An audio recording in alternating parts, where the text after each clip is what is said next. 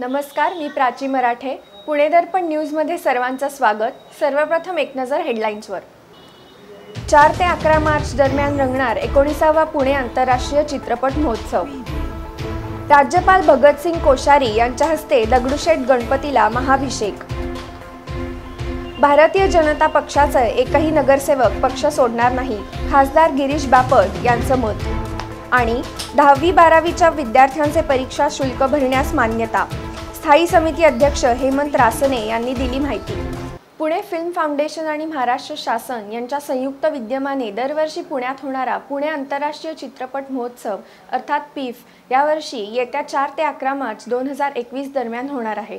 महोत्सवाचे हे सलग एकोणीसावे वर्ष असून चित्रपटगृहाबरोबरच ऑनलाईन व्यासपीठाच्या माध्यमातून यावर्षी महोत्सव सिने रसिकांपर्यंत पोचणार असल्याची माहिती पुणे फिल्म फाउंडेशनचे अध्यक्ष व महोत्सवाचे संचालक डॉक्टर जब्बार पटेल यांनी आज पुण्यात झालेल्या पत्रकार परिषदेत दिली. महोत्सवाचे हे सलग एकोणीसावे वर्ष असून चित्रपटगृहाबरोबरच ऑनलाईन व्यासपीठाच्या माध्यमातून यावर्षी महोत्सव सिने रसिकांपर्यंत पोहोचणार असल्याची माहिती पुणे फिल्म फाउंडेशनचे अध्यक्ष व महोत्सवाचे संचालक डॉक्टर जब्बार पटेल यांनी पत्रकार परिषदेत दिली. पुणे फिल्म फाउंडेशनचे सचिव रवी गुप्ता महोत्सवाचे कलात्मक दिग्दर्शक समर नखाते राष्ट्रीय चित्रपट संग्रहालयाचे संचालक प्रकाश मगदूम आदी मान्यवर यावेळी उपस्थित होते. महाराष्ट्र शासनाचा अधिकृत चित्रपट महोत्सव असलेला व दरवर्षी चित्रपट रसिक ज्याची आतुरतेने वाट पाहत असतात अशा या महोत्सवासाठी यावर्षी त्र्याण्णव देशांमधून तब्बल सोळाशे अकरा चित्रपट प्राप्त झाले आहेत ज्यापैकी विविध विभागातील तब्बल एकशे ऐंशी चित्रपटांचा आस्वाद सिने रसिकांना महोत्सवादरम्यान घेता येणार आहे. चित्रपट निवड समितीच्या माध्यमातून या चित्रपटांची निवड करण्यात आली आहे. यावेळी बोलताना डॉक्टर जब्बार पटेल म्हणाले मागील दोन हजार वीस हे वर्ष आपल्या सर्वांसाठी एक प्रकारची अनिश्चितता भीती आणि अर्थात संघर्षाचे होते. मात्र आता एक आशा घेऊन आपण सर्वांनीच दोन हजार एकवीसमध्ये पाऊल टाकले आहे. सोबतच या परिस्थितीत अग्रस्थानी कार्यरत असलेल्या कोविड वॉरियरच्या कष्टाचे चीज होऊन सर्वत्र लसीकरण मोहिमेला सुरुवात झाली आहे आणि परिस्थिती नियंत्रणात येत पूर्वपदावर येऊ लागली आहे. त्यामुळे आता सिनेरसिकांच्या मनात आपले वेगळे स्थान असलेला पुणे आंतरराष्ट्रीय चित्रपट महोत्सव घेऊन आम्ही पुन्हा एकदा तुमच्या भेटीला आलो आहोत. चित्रपटगृहाबरोबरच ऑनलाईन व्यासपीठाच्या माध्यमातून यावर्षीचा महोत्सव होणार असून कोविड नाईन्टीनच्या पार्श्वभूमीवर महोत्सवावेळी असणाऱ्या सर्व सरकारी नियमांचे पालन करीत महोत्सवाचे आयोजन करण्यात येणार आहे. कोविड काळात अग्रस्थानी असलेल्या फ्रंटलाईन वॉरियर्सला आम्ही यावर्षीचा महोत्सव समर्पित करीत असल्याचं जब्बार पटेल यांनी सांगितलं. हे एकोणीसावा हा आपला जो आंतरराष्ट्रीय पुणे चित्रपट महोत्सव होतो आहे हा चार मार्चपासून ते अकरा मार्चपर्यंत होईल. आणि या तारखा पुढे जाण्याचं कारण असं आहे की फेस्टिवलच सगळी भारतातली आहेत त्याच्या तारखा बदलल्या गेल्या. आणि जानेवारीमध्ये आपण जे दरवर्षी करतो ते यावेळेला आपल्याला मार्चमध्ये करायला लागलं पण चार मार्च ते अकरा मार्च अशा आपल्या तारखा आहेत आता दोन पर्याय याच्यामध्ये एक तर थिएटर्सना शासनाने परवानगी दिली आहे. त्यामुळं हा भाग थिएटरमध्ये अंतर ठेवून जी काही सरकारने दिलेली नॉर्म्स आहेत ती ठेवून थिएटरमध्ये आणि शिवाय ऑनलाईन असं दोन्ही पद्धतीने आपण प्रयत्न करतो आहे उत्तम ऑनलाईनची सर्व्हिस जगातली उत्तम अशी आपण घेणार आहोत. आणि थिएटरसुद्धा पुण्यातली उत्तम थिएटर निवडून पुढच्या प्रेस कॉन्फरन्समध्ये ते सांगितलं. मला अतिशय आनंद सांगायला की यावर्षी माननीय मुख्यमंत्र्यांनी उद्धवजी ठाकरेंनी माननीय उपमुख्यमंत्री अजितदादा पवार जे स्वतःच अर्थमंत्री आहेत. त्यांनी यावर्षी आमची गेल्या जवळ चार पाच वर्षांची मागणी होती की पुणे इंटरनॅशनल फिल्म फेस्टिवलचं जे बजेट आहे हे साधारणपणे भारताच्या इतर फेस्टिवलच्या आसपास यावं. तर त्यांनी सत्तर लाखावरून ही इंटरनॅशनल फिल्म फेस्टिवलला दिलेली आहे. हा मार्चचा भाग होता. मधल्या काळामध्ये कोरोनाच्या सगळ्या प्रकारात आम्ही स्वतः असा निर्णय घेतला की आपण फार मोठ्या प्रमाणात न करता थोडंसं कमी प्रमाणात करावं. म्हणून शासनाला आम्हीच विनंती केली की आपण चार कोटी मान्य केलेले आहेत पण यावर्षी आम्हाला फक्त अडीच कोटी लागतील. आम्हाला अडीच कोटी द्या. एक एक वन पॉईंट फाईव्ह जे करोड आहे ते उरलेले दीड कोटी आहेत. तुम्ही इतर कारणासाठी जे वापरायचे असतील त्याकरता या कोरोनाच्या काळात तुम्ही वापरावेत. आणि महाराष्ट्रासह संपूर्ण भारत देश देखील कोरोनामुक्त होवो. आत्मनिर्भर भारताचे आपले ध्येय लवकर पूर्ण होवो आणि अयोध्येतील राम मंदिराची उभारणी निर्विघ्नपणे होवो असे मागणे महाराष्ट्राचे राज्यपाल भगतसिंग कोश्यारी यांनी दगडूशेठ गणपतीसमोर मागितले. गणरायाला महाभिषेक करताना कोश्यारी यांनी सुजलाम सुफलाम भारतासाठी देखील प्रार्थना केली. श्रीमंत दगडूशेठ हलवाई सार्वजनिक गणपती ट्रस्टतर्फे भगतसिंग कोश्यारी यांचे स्वागत व सन्मान करण्यात आला. यावेळी खासदार गिरीश बापट ट्रस्टचे अध्यक्ष अशोक गोडसे सुनील रासने महेश सूर्यवंशी हेमंत रासने माणिक चव्हाण विनायक रासने मंगेश सूर्यवंशी आदी उपस्थित होते. गणरायाला अभिषेक झाल्यानंतर कोश्यारी यांच्या हस्ते गणपतीची आरती करण्यात आली. भगतसिंग कोश्यारी म्हणाले आपण सर्वांनी धर्माचे रक्षण आणि पालन केले तर आपला परिवार देश व जगाचे कल्याण होईल. लोकमान्य टिळकांनी गणेशोत्सवाच्या माध्यमातून जी सुंदर परंपरा सुरू केली आहे ती आजही सुरू असून पुढील अनेक युगे ती सुरू राहील. आपणही त्याच मार्गाने पुढे जाऊ असे सांगत गणपती बाप्पा मोर्याचा जयघोष देखील त्यांनी यावेळी केला. यजमानः अहं वो मम आत्मनः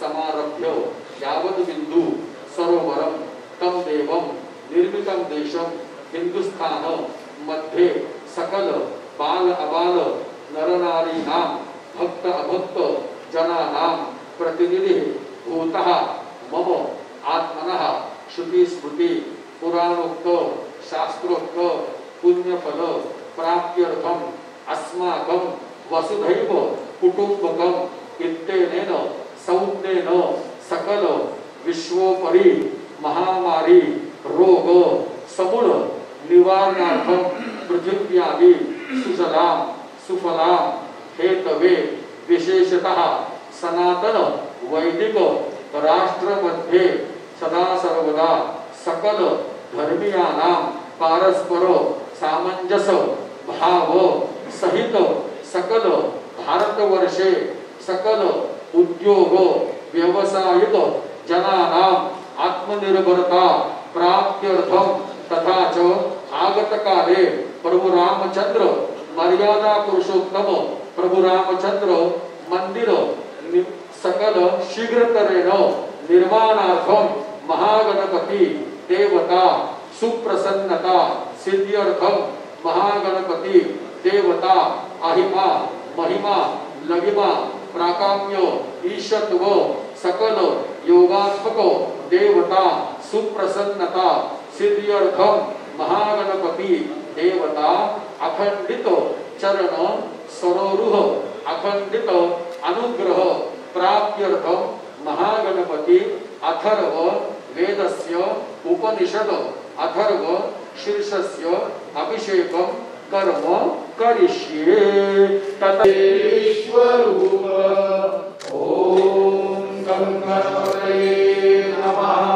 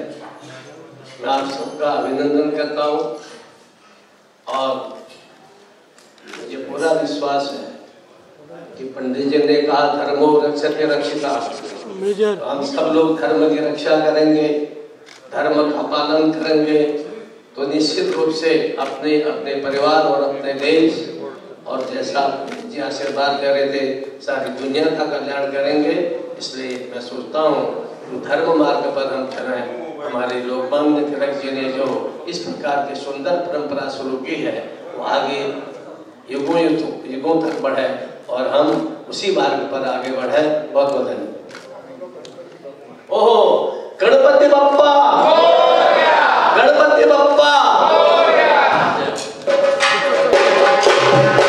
भारतीय जनता पक्षाचे एकही नगरसेवक पक्ष सोडणार नाहीत असा विश्वास पुण्याचे खासदार गिरीश बापट यांनी व्यक्त केला आहे. पुणे महानगरपालिकेत पद न मिळाल्याने भारतीय जनता पक्षाचे एकोणीस नगरसेवक नाराज असून बंडाच्या भूमिकेत असल्याची चर्चा सध्या सर्वत्र पसरली आहे. त्या पार्श्वभूमीवर खासदार गिरीश बापट यांनी आपलं मत व्यक्त केलं आहे. भारतीय जनता पार्टीचा एकही नगरसेवक पक्ष सोडणार नाही. आम्ही तर आत्तापासूनच एक तर विकासाची अनेक कामं आमच्या काळात मार्गी लागली. आजही कुठली महापालिका मुंबई सकट की ज्याने तीन चारशे कोटीच्या रुपयावर खर्च केले कोरोनाच्या बाबतीत?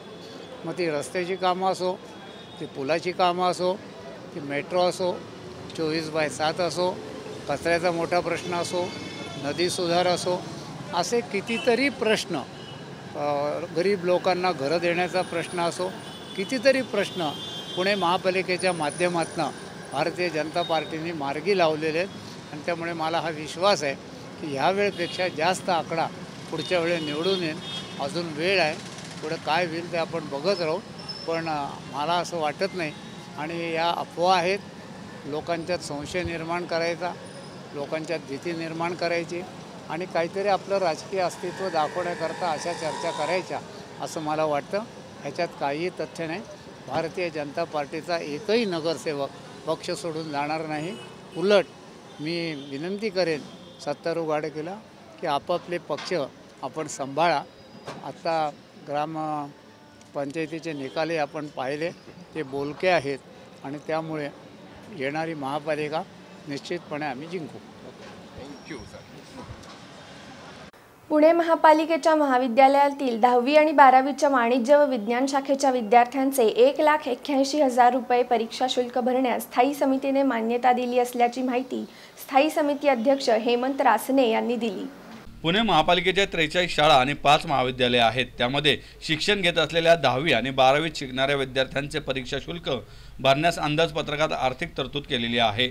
त्यातून एकशे पाच विद्यार्थ्यांचे एक लाख एक्क्याऐंशी हजार एकशे पंचवीस रुपये परीक्षा शुल्कापोटी एस एस सी आणि एच एस सी बोर्डात भरण्यास मान्यता देण्यात आली आहे. येरवड्यातील नेताजी सुभाषचंद्र बोस विद्यालय भावनीपेठेतील सावित्रीबाई फुले प्रशाला मंगळवारपेठेतील बाबूराव सनस प्रशाला भावनीपेठेतील रफी अहमद किडवई उर्दू हायस्कूल येरवडा येथील हकीम अजमल खान उर्दू विद्यालयातील एकशे पाच विद्यार्थ्यांना याचा लाभ मिळणार असल्याचं हेमंत रासने यांनी सांगितलंय. आज स्थायी समितीमध्ये प्रॉपर्टी टॅक्सचं उत्पन्न वाढवण्याच्या दृष्टिकोनातनं ज दोनशे लोकांची भरती करण्याचा निर्णय आपण मागेच घेतला होता ठरावाद्वारे आज ती प्रशासनाच्या माध्यमातून प्रक्रिया पूर्ण झाली आणि आज तो निर्णय आपण घेतला.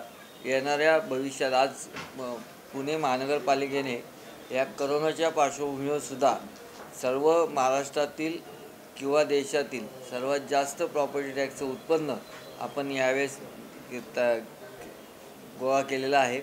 उर्वरित अडीच महिन्यात अजून जास्त प्रमाणात प्रभावीपणे त्याच्या उत्पन्नात वाढ करण्याच्या दृष्टिकोनातनं प्रॉपर्टीच्या असेसमेंट होण्याच्या दृष्टिकोनातनं आपण दोनशे लोक अतिरिक्त घेण्याचा निर्णय आज मान्य केला आणि त्या माध्यमातनं अजून चांगलं प्रभावी उत्पन्न आपल्याला मिळेल.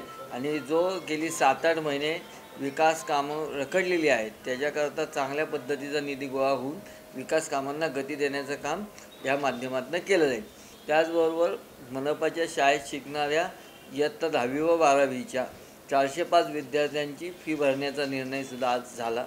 त्याचबरोबर कोरोनाच्या काळात आपल्या इथे काम करणारे चव्वे एकशे सतरा कर्मचाऱ्यांना पुन्हा एकदा चव्वेचाळीस दिवस कामावर रुजू करण्याचा निर्णय पण आज आपण घेतण्यात आला अशा पद्धतीचे निर्णय आज स्थायी समितीमध्ये झाले. चारशे पाच चारशे पाच विद्यार्थ्यांची एक लाख एक्क्याऐंशी हजार रुपये फी आपण भरणार आहोत. आता वेळ झाली आहे छोट्याशा विश्रांतीची. पाहत रहा पुणे दर्पण न्यूज. मंजिल है सूरज हमारी लक्ष्य हमारा जीत हमारी। मंजिल है सूरज हमारी लक्ष्य हमारा जीत हमारी। जीत का है जुनून। चले सूरज की ओर। हम चले सूरज की ओर।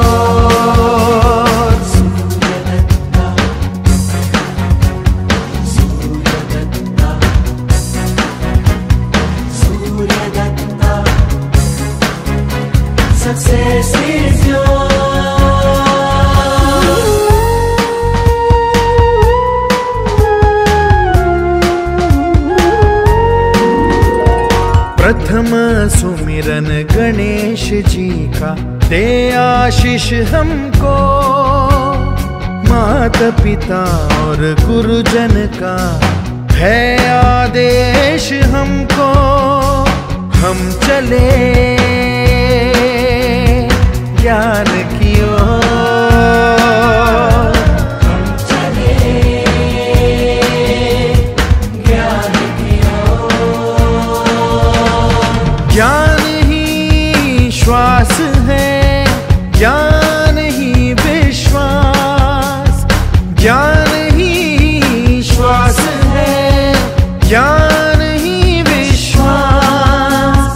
ज्ञान की प्यास बुझाने का है ये जुनून?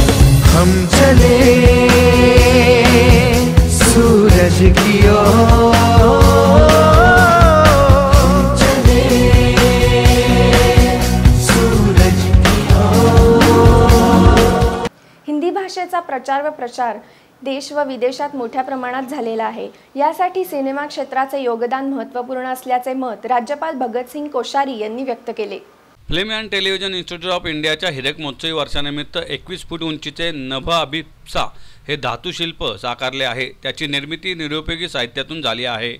मंगळवारी या शिल्पाचे अनावरण राज्यपाल कोश्यारी यांच्या हस्ते करण्यात आलं. जुन्या आणि निर्जीव साहित्यापासून सुंदर कलाकृती उभारणी केल्याबद्दल त्यांनी संस्थेचे अभिनंदन केले. यावेळी एफ टी आय आयचे संचालक भूपेंद्र कॅथोला दूरचित्रवाणी विभागाचे अधिष्ठाता राजेंद्र पाठक चित्रपट विभागाचे अधिष्ठाता धीरज मेश्राम आदी उपस्थित होते. दरम्यान कोश्यारी यांनी ऐतिहासिक प्रभात स्टुडिओमधील जुने आणि नवीन प्रकारच्या कॅमेरा लाईट्ससह चित्रपट निर्मितीविषयक दुर्मिळ साहित्याची पाहणी केली. विविध माध्यमातून या कलाकृतींचा प्रसार करा जेणेकरून विश्वातील नागरिक येथे कलाकृती पाहण्यासाठी येतील. साहित्यिक कवी चित्रपट क्षेत्रातील कलावंत आदींसह नवनिर्मिती क्षेत्रात रचना करणाऱ्यांसाठी हे उच्च प्रेरणास्त्रोत व्हायला हवे. कमी साधनांचा उपयोग करत आपल्या प्रतिभांपासून प्रेरणा देण्याचे काम करीत आहे ही चांगली बाब आहे. या संस्थेचे शतक महोत्सवी वर्ष साजरे करताना देशभरात विश्वातील अनेक मान्यवर उपस्थित असावेत अशी अपेक्षा कोश्यारी यांनी व्यक्त केली. यासह मनोरंजनासोबतच ज्ञानप्रसाराचे काम होत असल्याबद्दल त्यांनी शुभेच्छा दिल्या माध्यम आणि मनोरंजन क्षेत्रात film and television institute of India या संस्थेचे महत्त्वपूर्ण योगदान आहे. चित्रपट शिक्षणाची पुणे ही काशी आहे. सिनेमा क्षेत्र हे कला आणि विज्ञान यांचा अनोखा संगम आहे असे कॅथलो म्हणाले.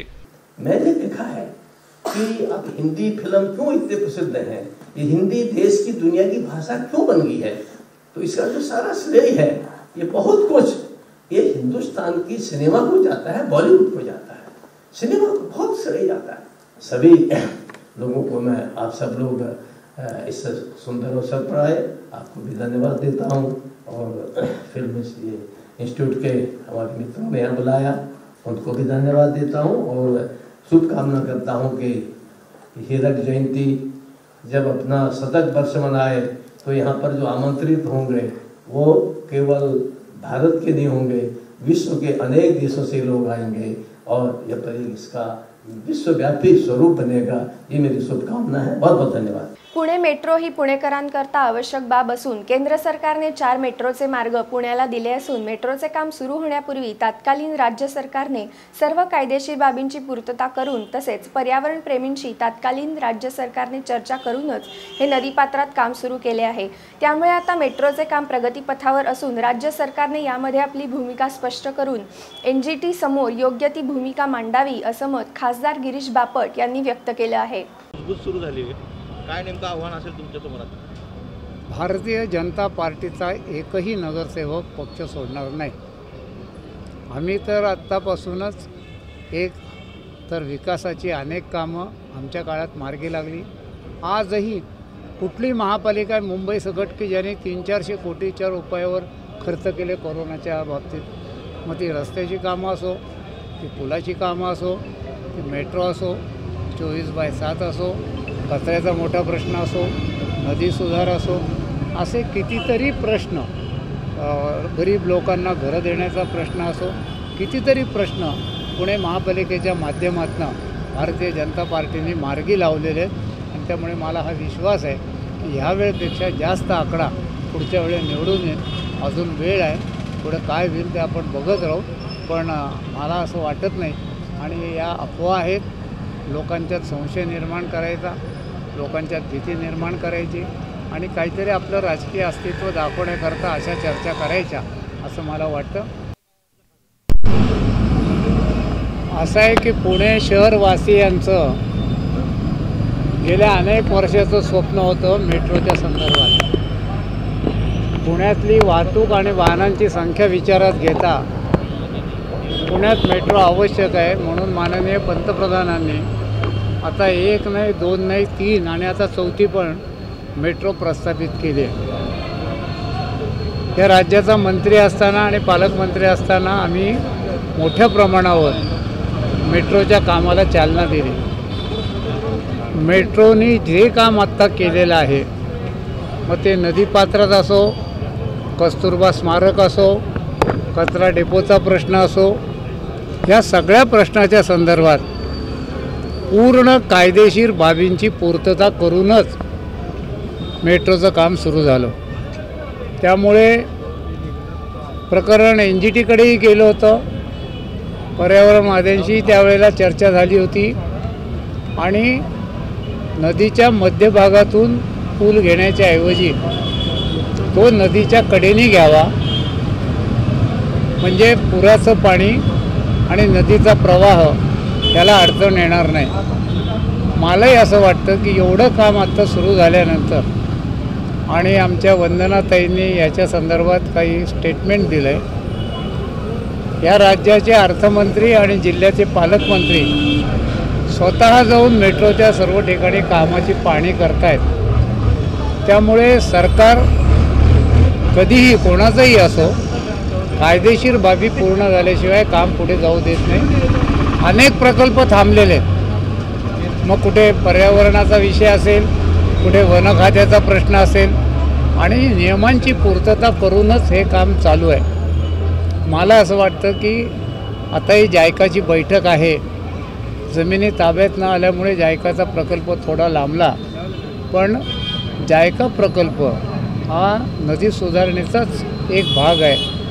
आणि मोठ्या प्रमाणावर केंद्र सरकारने आणि जपान गव्हर्मेंटने जपानच्या कंपनीने त्याला मदत केलेली आहे. त्यामुळे जशी मेट्रो शहराला आवश्यक आहे तसंच नदी सुधारणा हेही शहराला आवश्यक आहे. भारतीय जनता पक्षाचा एकही नगरसेवक पक्ष सोडणार नाही ही फक्त अफवा आहे. भाजपामध्ये कोणताही गटतट नसून आम्ही सर्वजण एकत्र आहोत. म्हणून एकोणीस नगरसेवक हे बंडखोरी करणार असल्याचं वृत्त शंभर टक्के खोटं आहे असं मत माजी खासदार संजय काकडे यांनी व्यक्त केलं आहे. माझ्या माहितीप्रमाणे भाजपाचा कुठलाही सदस्य कुठल्याही पक्षाच्या संपर्कात नाही. राहिला प्रश्न जो नाराजीचा असतो तो प्रत्येक पक्षात नाराजी असते. म्हणजे आपण राष्ट्रवादीमध्ये बघाल पुणे जिल्ह्यामध्ये इंटरनल नाराजी आहेच. आहे काँग्रेसमध्ये बघाल तर महानाराजी. शिवसेनेमध्ये बघा.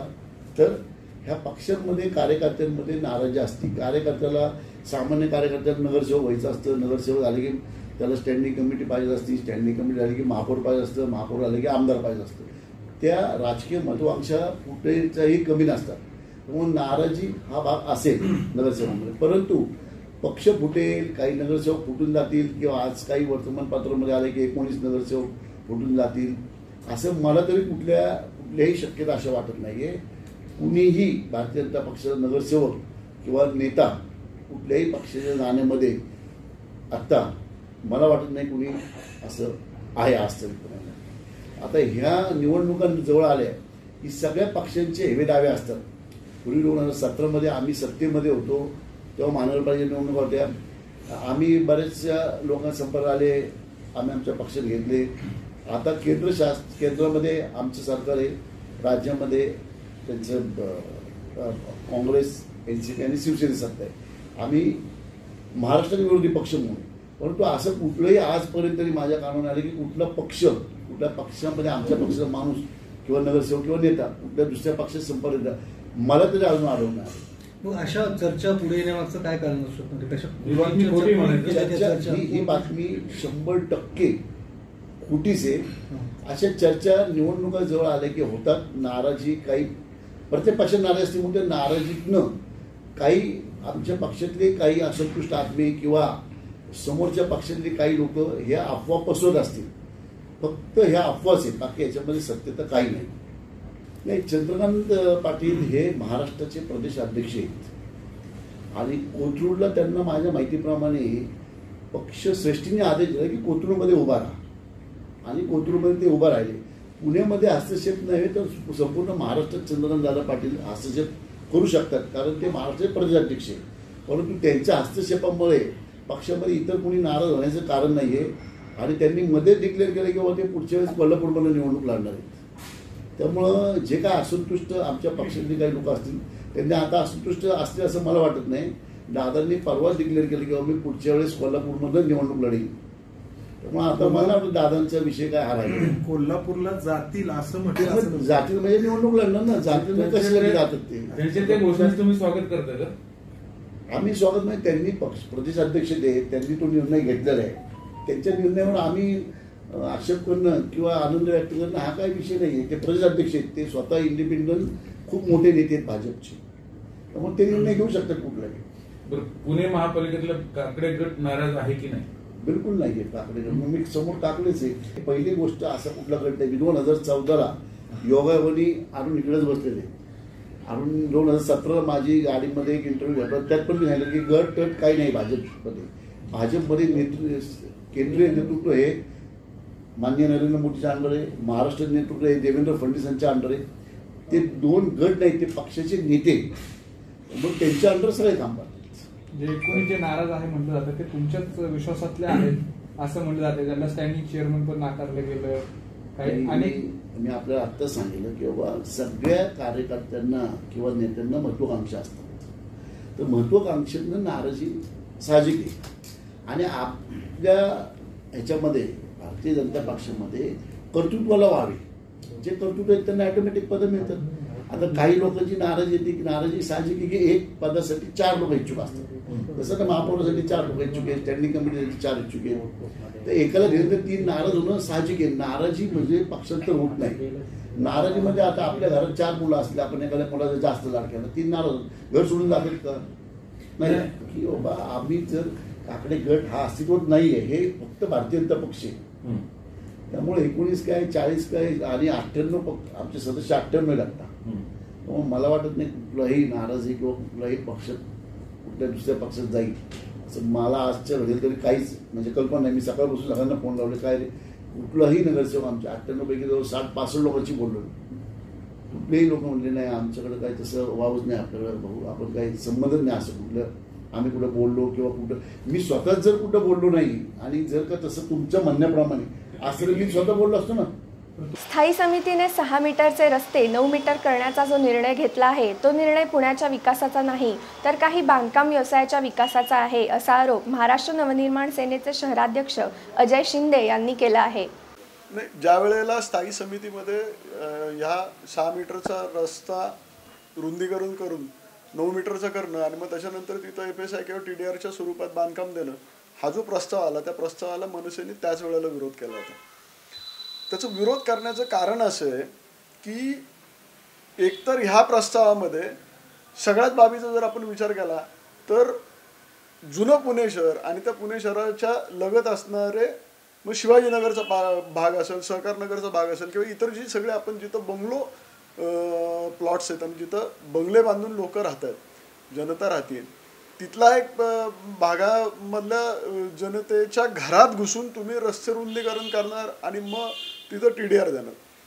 त्याच वेळेला आपण जर पुणे शहराचा विचार केला जुन्या पुण्याचा विचार केला तर त्या जुन्या पुण्यामध्ये तुम्ही फक्त चारच रस्ते घेतले मग हे चारच रस्ते कशासाठी?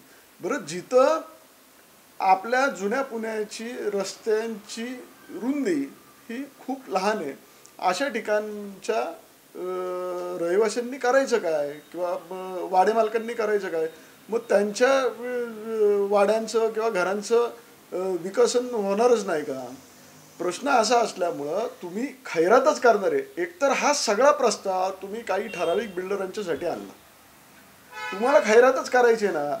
मग तुम्ही रस्ता रुंदीकरणाचा घाट कशासाठी घालताय? जिथं जिथं सहा मीटर पर्यंत रस्ते त्या त्या प्रमाणात तिथं एफ एस आय वाढीव एफ एस आय द्या टी डी आर वापरायची परवानगी द्या आणि तिथं विकास विकास होऊन द्या. म्हणजे तुम्ही म्हणाला तर तो विकास कायदेशीर. आणि आम्ही सांगितलं की आम्ही विकासाला विरोध करणार आहे. असं होत नाही. यांचा प्रस्तावात मुळात काही बिल्डरांच्यासाठी आणि या पुणे शहरामध्ये जमिनीच्या संदर्भातला माफिया राज कसा येईल ह्याच्यासाठीचा आहे. मी म्हणतोय त्या पद्धतीने जर हे प्रस्ताव आले तर आपोआपच पुणे शहरामधल्या वाड्यांची लांबी किंवा रुंदी इतकी कमी होईल की ते वाडे डेव्हलपच होऊ शकणार नाही. ही पहिली गोष्ट. दुसरी गोष्ट जर त्या ठिकाणचं जर तो सगळा एफ एस आय वापरायचा असेल किंवा टी डी आर वापरायचा असेल तर सगळ्या वाड्यांना एकत्र येऊन ती स्कीम करायला लागेल. म्हणजे ह्या सगळ्या गोष्टीला बरोबर जी काय मंडळी लागणार ती आर्थिकदृष्ट्या सक्षम लागणार त्याच्याबरोबरनी भूमाफिया असणारी ती सगळी मंडळी त्यांच्या स- बरोबर येणार. त्याच्यामुळं पुणे शहराची एकंदर वाटचाल ही जमिनीशी क्षेत्र निगडीत असलेल्या माफियागिरीशी होईल म्हणून मनसेचा त्याला विरोध असल्यामुळं मनसेची भूमिका अशी घेतली आहे की सहा मीटरच्या सगळ्याच रस्त्यांवरती तुम्ही टी डी आर किंवा एफ एस आयची खैरात करा ज्याचा फायदा नागरिकांना होईल. असंही तुम्ही एफ एस आय वाढवणारच आहे. तर याच्यामुळं काय खूप मोठं पहाड या पुणे शहरावरती कोसळणार नाहीच. आणखीन एक मी याच्यात जोडू इच्छितो. आमची काही ती मागणी नाही. पण सातत्याने आपल्याला रस्ते रुंदीकरण करायचं रस्ते मोठे करायचे आहेत. आणि हे रस्ते मोठे कुठं करायचे असतात आपल्याला? तर जिथे जिथं रहिवासी क्षेत्र आहे. म्हणजे बोळातनं तुम्हाला रस्ते मोठे करायचे आहेत. मग तुम्हाला कधी लक्ष्मी रोड दिसत नाही का हो? तुम्हाला कधी टिळक रोड दिसत नाही का? हे रस्ते तुम्हाला मोठे व्हावेसे असं वाटत नाही का? तुमचं हे जी काही धोरणं आहेत ना ती व्यापाऱ्यांना वाचवणारी आणि सर्वसामान्य माणसाला जातीत घेऊन पिसणारी आहेत म्हणून मनसेचा त्याला विरोध आहे. आम्ही आत्ता पत्र दिलं आहे त्याच्यावरती हरकती आणि सूचना प्रशासनाने मागवलेल्या आहेत. त्या हरकती सूचनामध्ये पण आमची हरकत आम्ही नोंदवलेली आहे. भविष्यात प्रशासनाचा या सगळ्याच्या संदर्भातला मूड काय हे मनसे बघेल आणि त्या दृष्टीने मग पुढची वाटचाल ठरवेल. M I T world peace युनिव्हर्सिटीच्या school of pharmacy पुणेतर्फे सार्वजनिक आरोग्य सेवा शिक्षण आणि संशोधनावर आधारित चार दिवसीय ऑनलाईन वर्ल्ड हेल्थ पार्लमेंट दिनांक एकवीस ते चोवीस जानेवारी दोन हजार एकवीस दरम्यान आयोजित करण्यात आली आहे. आरोग्य सेवा परिसंस्थेमध्ये अग्रणी व उच्चस्तरीय सुधारणा करणे pioneering disruptive reforms in healthcare ecosystem हा या पार्लमेंटचा प्रमुख विषय आहे. आरोग्य सेवा परिसंस्थेत अग्रणी व उच्चस्तरीय सुधारणा करणे हा या पार्लमेंटचा प्रमुख विषय आहे. पुण्यातील विश्वराज हॉस्पिटल तळेगाव दाभाड येथील मायर्स मायमर वैद्यकीय महाविद्यालय आणि लातूर येथील M I M S R वैद्यकीय महाविद्यालय यांच्या सहकार्याने हे पार्लमेंट भरवले जात आहे. वर्ल्ड हेल्थ पार्लमेंटचे उद्घाटन येत्या एकवीस जानेवारीला सकाळी होणार आहे. केंद्रीय आरोग्य आणि कुटुंब कल्याण मंत्री डॉक्टर हर्षवर्धन राज्याचे शे वैद्यकीय शिक्षण मंत्री अमित देशमुख खासदार डॉक्टर अंबुमनी रामदास सिक्कीमचे आरोग्यमंत्री डॉक्टर मणिकुमार शर्मा जम्मू काश्मीरचे आरोग्यमंत्री आसिया नक्काश आणि महाराष्ट्राच्या कोविड नाईन्टीन टास्क फोर्सचे अध्यक्ष डॉक्टर संजय ओक आदी यावेळी उपस्थित राहणार आहेत. एम आय टीचे संस्थापक अध्यक्ष डॉक्टर विश्वनाथ कराड कार्यक्रमाचे अध्यक्ष असतील. येत्या चोवीस जानेवारीला केंद्रीय आरोग्य राज्यमंत्री अश्विनी कुमार चौबे महाराष्ट्राचे आरोग्यमंत्री राजेश टोपे डॉक्टर तात्याराव लहाने यांच्या उपस्थितीत वर्ल्ड हेल्थ पार्लमेंटचा समारोप होणार आहे. एम आय टीचे कार्याध्यक्ष राहुल कराड यांच्या संकल्पनेतून वर्ल्ड हेल्थ पार्लमेंटचे आयोजन करण्यात आले आहे. पुन्हा एक नजर हेडलाईन्सवर चार ते अकरा मार्च दरम्यान रंगणार एकोणीसावा पुणे आंतरराष्ट्रीय चित्रपट महोत्सव. राज्यपाल भगतसिंग कोश्यारी यांच्या हस्ते दगडूशेठ गणपतीला महाभिषेक. भारतीय जनता पक्षाचं एकही नगरसेवक पक्ष सोडणार नाही खासदार गिरीश बापट यांचं मत. आणि दहावी बारावीच्या विद्यार्थ्यांचे परीक्षा शुल्क भरण्यास मान्यता. स्थायी समिती अध्यक्ष हेमंत रासने यांनी दिली माहिती. याचबरोबर आजचं बातमीपत्र संपलं. पाहत रहा पुणे दर्पण न्यूज.